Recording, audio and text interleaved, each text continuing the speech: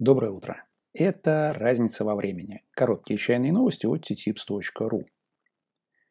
Турецкие ученые внимательно посмотрели в разные приборы для того, чтобы выяснить, что происходит с зеленым чаем при разных соотношениях воды и чая и при разной продолжительности настаивания.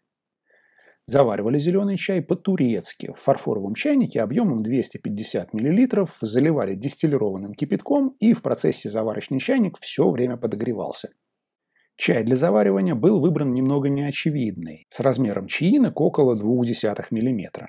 Изучали три дозировки – 5 грамм на чайник, 7,5 грамм на чайник и 10 грамм на чайник. Ну, то есть заваривали трындец как крепко.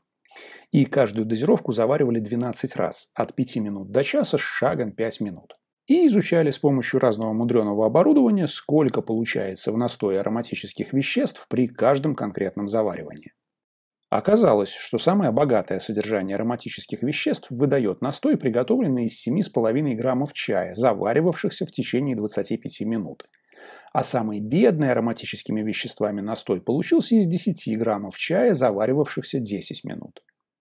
Никаких глубокомысленных выводов из этого сокровенного знания сделать нельзя, ну, кроме того, конечно, что содержание ароматических веществ в чайном настое сильно зависит от режима заваривания чая. Любопытно, что в этом исследовании, в отличие, например, от традиционных китайских научных исследований, нет сенсорной части. Ну то есть все полученные результаты никак не спроецировать на вкус чая.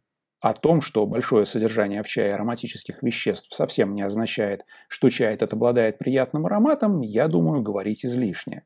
Ну и в том, что турецкий мелкий зеленый чай, проваренный 20 минут при дозировке 7,5 грамм на 250 мл воды, едва ли будет вкусным, тоже говорить не приходится. Замечу также, что сам я не мониторил зеленый турецкий чай уже лет 10, а 10 лет назад он был простым как швабра и часто уже на упаковке содержал безальтернативную рекомендацию по завариванию с лимоном, с мятой или с базиликом, иначе пить его было скучновато, а то и сложновато. Что с турецким зеленым чаем сейчас, я даже не представляю. Развивается турецкая чайная индустрия довольно быстро, может там уже и есть что-то симпатичное. Белый чай у них, например, вполне нормальный. Не шедевр, конечно, но пить можно. Ну а китайские ученые изучили, как меняется состав шуйсяня в процессе хранения. Исследование получилось богатым на разные данные, там есть занимательные таблички, в которых можно посмотреть на то, как меняется с возрастом содержание в чае аминокислот, спиртов, углеводов и всяких прочих интересных чайных веществ. Но самое интересное в этом исследовании и это скачкообразное изменение содержания многих из наблюдаемых веществ примерно на 15 году хранения чая. Это наблюдение позволило сделать вывод о том, что для шуйсяни именно 15 лет являются критическим возрастом, после которого химический состав чая и, скорее всего, его сенсорные характеристики заметно меняются.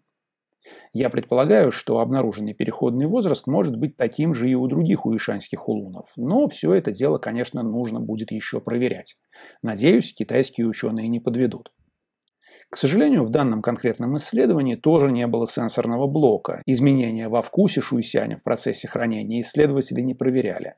И да, образцы чая, изучавшиеся в рамках исследования, хранились без особенного фанатизма, просто в герметичных металлических банках.